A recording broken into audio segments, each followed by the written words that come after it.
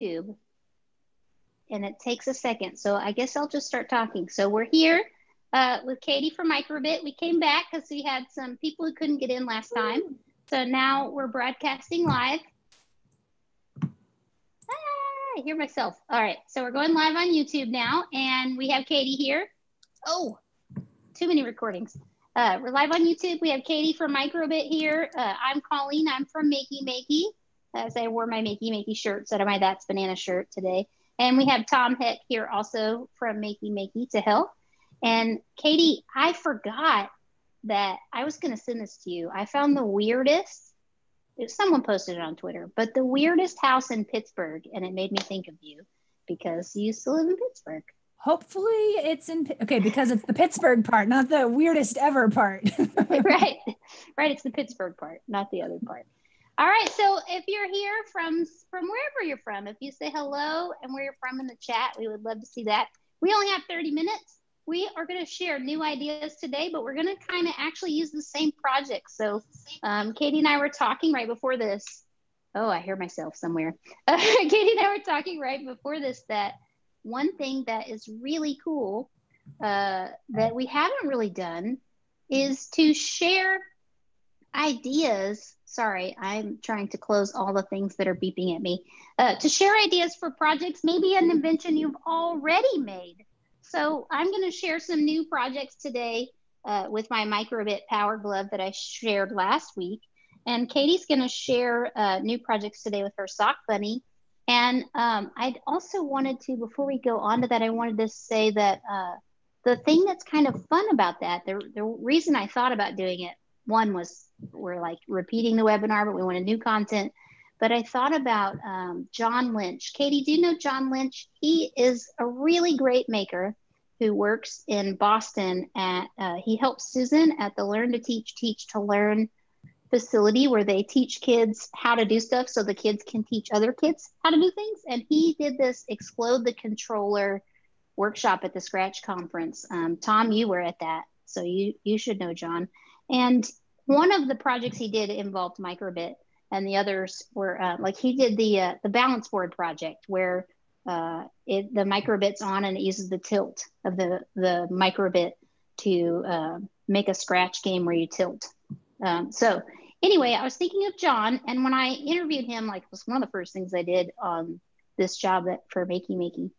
I interviewed him and he told me that he would sometimes bring the inventions and the kids would have to code a project to go with it. And other times they would uh, have the coding project already done and have to build an invention to go with the coding project. So I thought that was a really interesting way to chunk things down um, for teachers so that they might try with their students.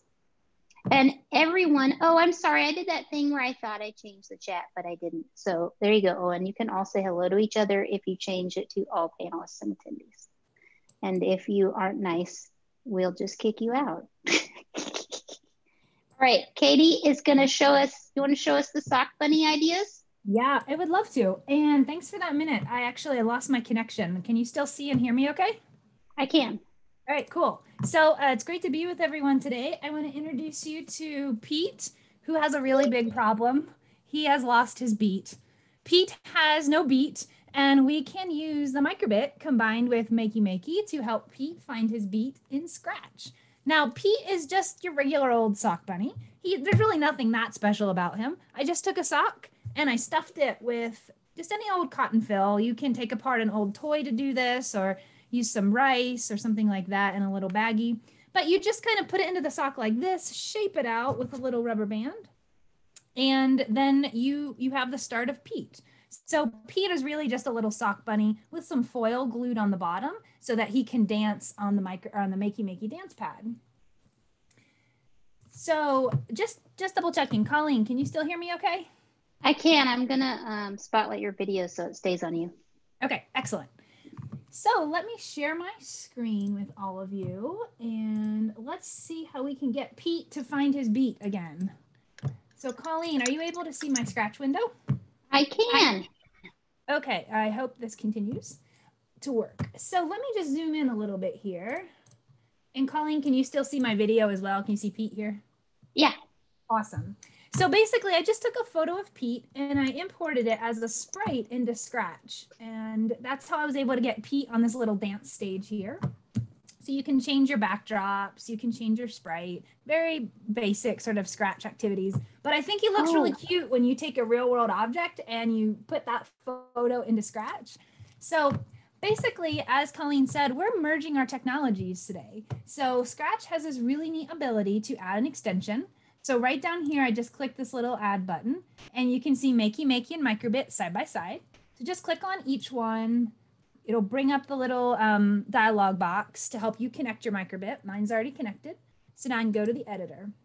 And you can see I already did that process down here for Makey Makey as well. So just a quick little demo here. Um, because my microbit has a tilt sensor in it, I can move my wait. microbit around. Yes, wait, Colleen. wait, go.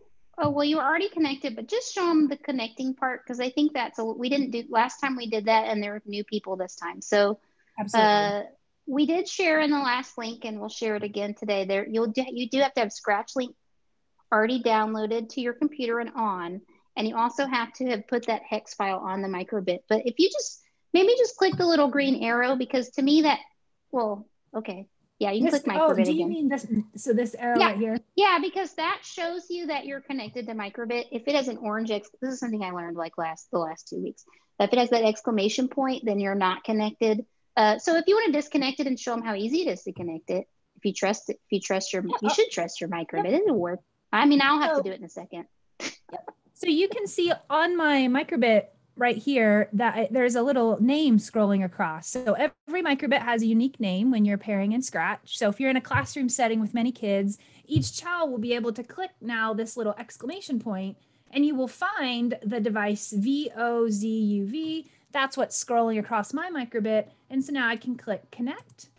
And you'll notice that after I connect, the name stops scrolling. So now I can begin to program the LEDs and, and everything else with my microbit. So now we'll go back to the editor and we're ready to rock and roll. Awesome. Okay, cool.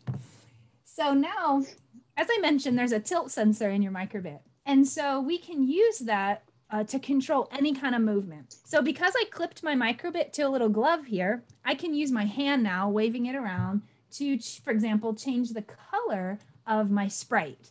So are you able to see that as I move my hand, oh, yeah. change? Let's go ahead and add in a sound because color is just one way to make the beat here. Let's go in. I'm added in a sound already. Now, can you hear that popping sound? I can. Awesome. So now we're starting to get Pete. He's kind of moving around to Little B. He's changing color. He's making a noise. Let's break away though and start to get some more effect here with the makey makey. So as I mentioned, I've got some foil on the bottom here. So as I dance Pete around, Colleen, can you see my little dance pad over here? I can. So basically, I've just made a very simple little dance pad with a piece of um, just a file folder and some foil. And now when I put my when I put Pete onto the dance pad, I can start to get some motion here. So you notice Pete jumps when I press the space key. He's changing colors because I'm shaking my hand. But I can actually move him left and I can move him right as well. So final little demo here is just to go ahead and play some music. And you can I can help him start to find a little beat. Now you can imagine this activity I, doesn't have to just be dancing on a sock puppet moving your arm. Imagine a whole body dance activity where you are moving the sprite around by the connections you make on the walls with your own body, um, with other objects, or with little stuffed animals that you make. So that, there are probably lots fun. of ways to help Pete find his beat, and it'll be really cool to see what else you come up with. You know what I love about that? It also reminds me of um, oh, uh, the uh, we did a we did a webinar with Unruly Splats and Eric Turrell, the STEM. I call him the STEM in the gym guy. He's not the person who invented STEM in the gym, but he might as well be because he started sharing these ideas with this hashtag STEM in the gym, and um, we all are like obsessed with him. But anyway, I always think of him when I'm sharing um, projects with kids and doing a design challenge, and what you just did where you said, imagine the body movement. So if I had to jump, and someone did this in your class, Tom, uh, where they had to jump to do uh, to hit a counter. So if they had to jump for Pete to jump up high and make that certain sound, like maybe they jump and it hits a cymbal, and then they reach down low. And that's something that, like, yes, the microbit's going to feel tilt and feel jumping and tilting, but that's going to give you a different level of precision. I think that's a really cool mashup idea, Katie. I like Thanks. Pete finding his beat Yeah. and Pete- uh, and Pete changing colors. Okay, so before you have to share your screen again because uh, Christine asked how to put how did you put Pete in your project? So if you would show that real quick, I think it would be really helpful. Absolutely. um, can you see, actually, can you see my screen right now, Colleen? I can. How about Right. you go to costumes and you can just do it all again and make a second. If you go to the tab, you can do a second um a second costume for Pete. We already have a second one, but just to show how to do it. Sure. So basically, well, actually, where I really started um, was down here. I imported the image originally. So instead of choosing a sprite from the Scratch library, I just came up here and I uploaded an image. So I basically, this just gives you full access to your computer. You can choose a picture that you like. Um, I just imported the photo that I had taken of, of Pete. Um, and then, like Colleen said, once you have that image imported, you can begin to do all kinds of cool things to it. And so let's see um, if I just wanted to make another um, motion here, another costume, uh, I could right mouse click and duplicate. So now I have another one to kind of play around with, make sure I like what I'm about to do. And let's see, I could probably just turn them around. Oh So yeah, now, that's cute. now when, okay, so now I've got two costumes, kind of a mirror image, and I want to delete this one out. I don't need. So if I go back to the code here and let's now move and cause Pete to flip between those two costumes. Uh, so I've got two costumes. Let me just see if this is the one I want. Okay, so I've got, okay, there's one and and actually, okay, let me just, I'm right now, I'm just checking to get the two positions. Okay, so those are the two costumes that I like going back and forth. Now I want to make it so that, nope, I don't want that either. I want to use my A and B button to control this. I just want to keep it really simple. When I press the buttons on my microbit, I want to switch the costumes. So here we go, A and B. And so now when I press A and B on my microbit here, you see that I can make him flip. Oh, So you you can- cute dancing. Um, you can imagine now if I'm like if I'm dancing with Pete in real in the real world and I'm pressing the buttons and shaking, you start to see this whole body interaction uh, to help Pete find his beat, and it's just a lot of fun. I hope that answered your question. That did, but you know what's really cool is they're all asking how you still remove the background. So Renee asked if you use remove.bg to remove the background in your image. Joe mentioned that there was a magic wand. Yeah, if you like, if you upload one, I usually just upload it and erase around it like I'm old school Photoshop. Okay, that's that's actually exactly what I had to do because I took a terrible photo of Pete the first time and his background was all messy, so it was hard to just remove background. Let me see if I can This is cool. There's three different ways to do it. So remove.bg will remove backgrounds. Sandra uses preview on her Mac to remove the background. So everyone has new tips. You did that. There's Not- also an eraser tool. Yes. Uh, Yeah. So I I I used this Oh, little um, button right here. This is this little icon means to delete the image. Yeah. And so you can adjust the size of your um, tip of your brush here. So let me make a real big shape here. And what I did is I actually just took this eraser tool around my bunny. I just Yeah. drew all around the bunny and then I erased everything away. So You and so I, are, we're doing that. She's using that. We're doing it the hard way. Apparently, there's like easier ways to do it. It's easier if you take a picture of your object in front of a simple background, and then there is a way to just select and remove to do that. Right. There Actually- used to be a magic wand, and I don't know if that's in the vector version or what. So Yeah, I didn't see it before. It might be there. I had I looked up a YouTube video. Uh, Oh, I mean in Scratch. Yeah, Scratch 2 had had it. I don't know about Scratch 3. All right. I just got myself plugged in. This is the hard part. I had to call Katie earlier today and I was stuck to my computer. Um, so someone also asked how you used Makey Makey. So maybe real quick, if you'll um, Yeah. pull your, can you, now that there's no scratch screen in the way, can you share that uh, pad and we'll explain it a little bit? Absolutely. And I'll spotlight you again. Super prototypey, everybody. There's nothing fancy about this at all. So this Yeah. is really what you're looking at. And so the Makey Makey makes it really clear what's what. So you can see, like, look at the left and right arrow on the Makey Makey. You see those two yellow wires? Well, if you look at my dance pad, I have a left wire on, or excuse me, a yellow wire on the left and a yellow wire on the right. Those are simply the left and right connections. And the one in the middle is the earth or the ground connection. So when I was dancing Pete, I essentially was just completing a circuit. So when Pete sat here, he was connecting the right to the ground. And when Pete was over here, he's connecting the left and the ground. So he's dancing right and left. And then here to jump, that this one was connected to the space key and ground. So this was a jump and this was a right and a left. Almost like a DDR dance, the beginning of a dance dance yeah. revolution dance pad. It is. It's awesome. So thank you. That's that's exactly what we needed, what they needed to hear, I think. So uh, if you weren't here last week and you didn't watch the recording, here's my Nintendo Power Glove that makes me feel um, it's not a Nintendo Power Glove. It makes me feel like I'm wearing a Nintendo Power Glove and super awesome. And I've just rubber, well, I actually did sew the microbit on and I just shared a tutorial for this on the Makey Makey page and on Instructables. Um, but I sewed the microbit on and my battery pack is held on with this super prototypey rubber band that also holds my alligator clips in place so they're not such a mess.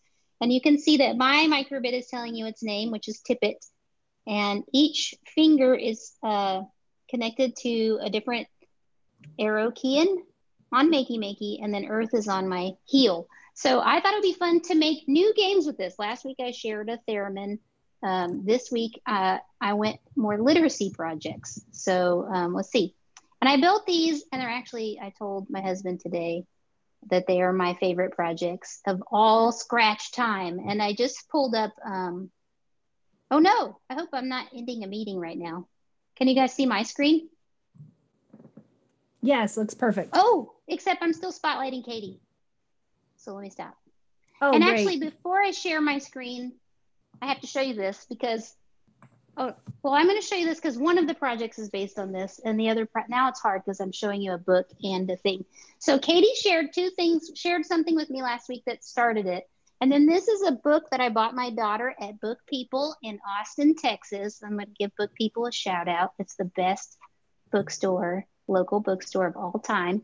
You can, um, oh, thanks, Tom. Hot, Tom spotlighted me, and you can uh, you can buy books from book people right now but you have to go to this thing you can buy books from lots of local bookstores. I think it's called bookshop.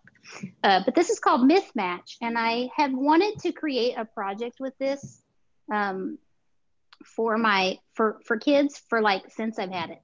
So uh, when you go to myth match it tells you the name. So here's the here's the dragon right? And the dragon, it says, the divine mythical creature has the head of a mighty lizard, a giant reptile body and tail, and a covering of glinting scales. It can control floods and typhoons and snort smoke and red hot fire.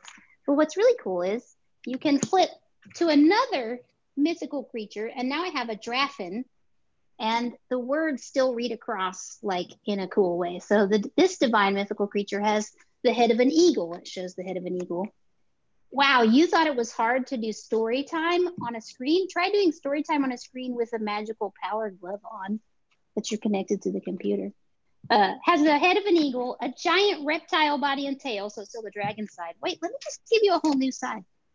A crap, a capifin, caprafin, the celestial creation has the head of an eagle, the scaly tail and fins of a fish, and fearsome sharp talons, and symbolizes wisdom and intelligence. Is renowned for guarding treasure.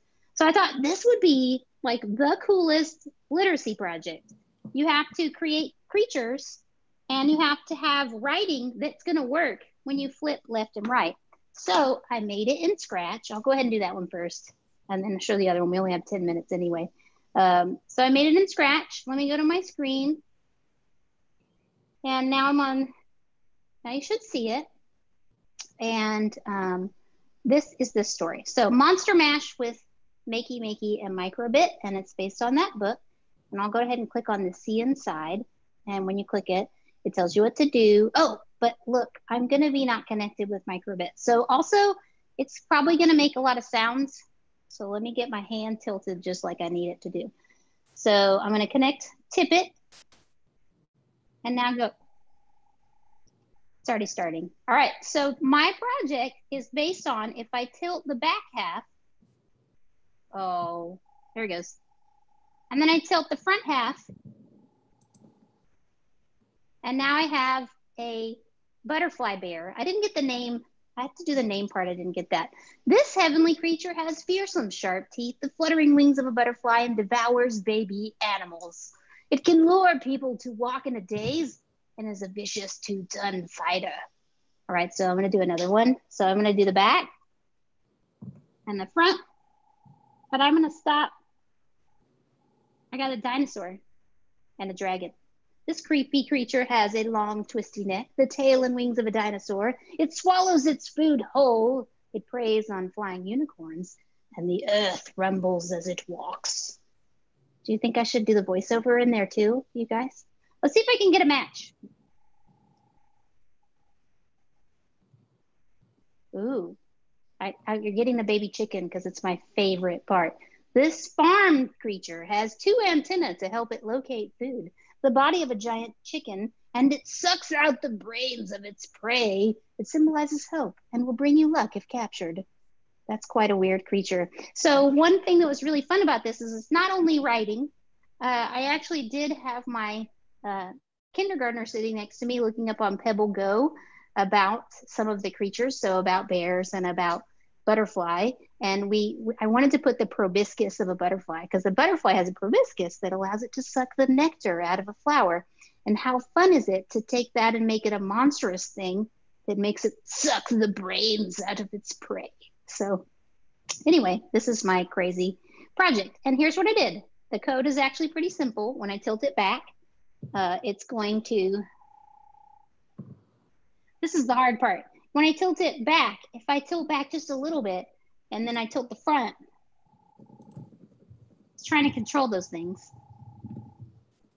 All right, so I have to tilt it back. Oh, I got the chicken. I'm so happy. I finally got a match. I was trying to get a match. So if I tilt it back, it starts uh, playing the next towards the next costume and I put the sound just to for fun. I could take it out. But I have it stop and point in direction 90. That's what makes it look correct. Because I did have oh in my other project I have them spinning. So the the other interesting thing I learned about microbit is that no matter what window I'm on, while I have this scratch open, if I tilt my hand at all, it's going to start moving. So the Bluetooth connection keeps uh, keeps connected, which I thought was pretty amazing. I didn't know that that would happen. So um, I'm making sure. I think I might have. I hope I didn't spotlight the wrong video that whole time. Y'all would have told me if it was in chat and I was spotlighting the wrong video, right? We can see I the right see the chat. Okay, I hope everyone can. Uh, so here's how I did it. It's actually uh, it's a, a game of matching. It's a really excellent writing project. I had a lot of fun. So if I wanted to make a new one, what I would do is I would actually go choose, I click choose a costume. You can click a new sprite here. You could upload things. Kids could do drawings they have, which would be really amazing too. So let's take the beetle. Um, and then I just took this, I think I converted it to bitmap. And I took this uh, selection tool to cut it in half. So I'm going to cut its head off by selecting that. I'm going to do Control C to copy, delete it. And now I have the bug half, but I also have to make it match up with my chickadee. So let me get it. There, oh, that looks so cute. I'm excited. Now to write, I would have to write my whole scene right here. So uh, this vicious, I'm just gonna show you. I'm not gonna type the whole thing. Uh, I, I'll, I'm actually going to write a guide on on what type of words you have to put in both sides, just to just to share. But the words have to make sense every time. So pretty much, this first half is like the type of creature it is, and on the right side in the front half, it has to be like whatever the head or the body is. Uh, and then the second line, I can't remember right now. Okay, so I showed you this. Let me click on front half. So let me go to front half. And now I'm going to make a new costume by painting and I'm just going to paste that front half of the beetle. And sometimes it takes it a second to show up. There we go. And I'm going to move it again. There's probably a better way to do this, but this is how I did it. and it's really uh, it's really kind of fun. It seems like a really fun project for kids. So then on my text, I'm gonna start my text box somewhere right here.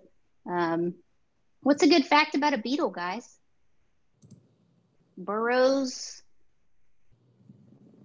in the earth. So we can see that my text is funny right now. They're this amazing is, musicians. Tom. Warning, dad joke. Tom. uh, I can actually.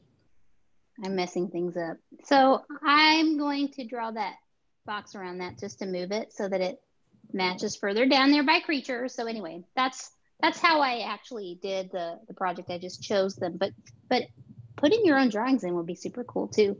So this project was something I've wanted to do a long time, but it also was inspired by Katie because last week she showed me this story starter guide from Scholastic. So this is your bonus because we're almost done with time here, uh, where you spin all the things and then you click. Oh, that's just going to stop it.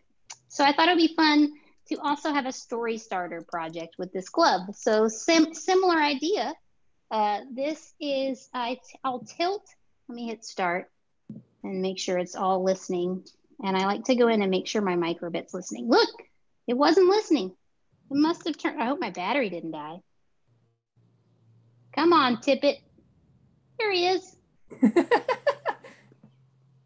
right. Oh, it's working already. So this is a similar idea to the story starter project, but I'm going to tilt.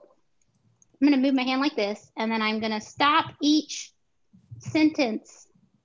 There he goes. Write a poem about a quick guitar that likes to play tag with. So I don't know. You're to write a poem. Let's see what else we get. So I shake my hand to make everything spin. I'm going to cheat. I'm just using my whole hand to stop all of them because right now it's hard to, to show. Stop, stop. I'm tilting my hand. Write a magical story about a quick. No, and I don't want to do the guitar again. This is so hard to not move your hand. That, oh, why does it really like that guitar? Hmm. Let me hold this up so you can see the keys are being pressed. All right, so I'm shaking, everything stopping. I'm going to stop each thing with my fist. Write a poem about a small potion that likes to pretend. What does it like to pretend to do? I don't know. All right. Write a list for a quick dinosaur that likes to eat. So anyway, I thought that would be a really fun project too uh, for kids. And all I've done is coded each. I'm gonna have to unplug the microbit. Coded each tilt to start a different piece. So um, I coded each word uh, thing as a sprite.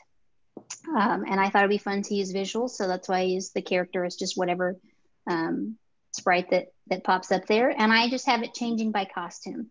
So this is just a pretty cool way to cheat the system here. I could be doing different sprites, but instead each uh, writing idea is here. And again, this is kind of like a really cool, this would be a great way to even write a sentence. Like you could have the, the noun of the sentence, the verb of the sentence, adjectives, but it has to always make sense as a sentence. It's kind of complicated to do so. I think it's a really fun uh, way to play with literacy and coding and making. So here's all the adjectives and um, all the different characters it can be. Could have been a picture. That one never showed up. I like the llama. I think that's my favorite. So the code that makes it stand correct is this point in direction when it when it hits that. So that that makes each one stay level. So they spin like the randomizer and then stay level. So that's that. Colleen, uh, your uh, this sort of reminds me of Austin Kleon's work around uh, blackout poetry. Really? I mean, uh, yeah, just kind of the kind of found um, writing, and also the surprise. Like your ah. your glove is is producing a a surprise, and I think that that's what I see with Austin. You know, blackout poetry is when students start with that uh, they're they're looking and and piecing things together and, and it's like they end up with like whoa look at that. I just made a poem out of you know this this magazine or or uh, newspaper article. Yeah. Thanks. I think it's really fun and i love blackout poetry. I love that thing. Uh, I'm looking at all the chat to see if I missed anyone's questions. You can turn off the blue connect, Bluetooth connection. I think the same way um, Katie did it in hers too. If I go over, I unplugged mine already, but I'll, I'll turn it back on and show you. Uh, is there anything else that people have asked that we're not answering? The only other question was just about the webinars each week. Is it new content or repeat content? Okay. Um, Jackie Tan did ask if there's a cut and paste resource to share with students for getting microbit connected to Scratch. Yep, I did post a link in the chat. I'm going to repost that link right now. Okay. And we we did answer the question about the background. So I'll show you real quick um, how to disconnect and connect your microbit again, just for those moments when it is a little bit cranky. So I can go to reconnect and it's looking for it and click connect. And the same way I've done that, I can also click disconnect. Um, so let's say I'm in it right now. To find that disconnect window again, I have to go to the blocks that are microbit blocks and click on that green check mark. Um, and now I can disconnect. And now they're not going to stop until I hit stop. But um, again, what's crazy is I could keep messing around with microbit in my hand. That's why I had to stay so very still. It was still going to register it. So it's interesting to me that Scratch is still reading the Bluetooth because we know, Tom and I know from from our work with Makey Makey so long that the key press is it's not going to register a key press um, when I'm in a whole other window. So that's that's kind of interesting. You could do some fun things with that, I think.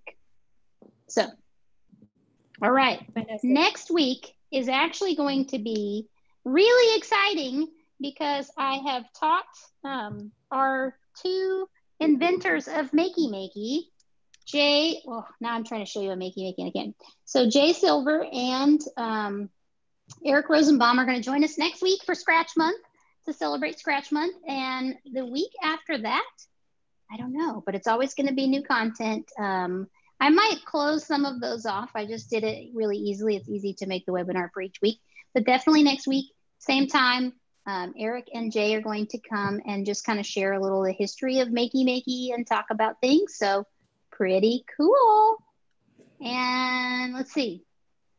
Why do you convert the picture to vector? Oh, I did that because I wanted to put that selection box. So Scratch 2 didn't have the back and forth, but it used to have this selection box. So it's mostly me learning how to um, to use new Scratch photo editing tools. Uh, I just knew I could put that box around it and then move anything, any piece of the sprite where I wanted, and that's that's why I did that. So stink when you step on them. I don't know what that means. The Beatles. That was a fact about oh, Beatles. Oh, that's a really, but that is a good fact. That would have been a good one. Oh, there's too many things. So we'll share links again. We'll share recording um, afterwards. This is already broadcasting live on YouTube. And Katie will share her Pete, help Pete find his beat um, project, probably on her own blog, and we'll link to it. And um, and I already made the uh, the Power Glove guide, but I was gonna I'm I'll be working this week on the literacy aspect of what I just did, and that, it'll just be a. a I've already decided I'm gonna call it Scratch Projects with the Makey Makey Micro Bit Glove. So they'll I'll put both of them in the one thing because just they're just kind of story starter ideas and writing ideas. So thanks everybody. Thank you. It was a lot of fun. I know. Wow, I love these. Awesome thanks. These 30 minute ones are just super fun. So thanks everyone for coming. Um, we're all glad you're here. Uh, and we'll see you again next week where we'll talk about breakfast tacos just for Elizabeth. Thanks, everyone. Thanks, Colleen. Bye. Bye. Thank you.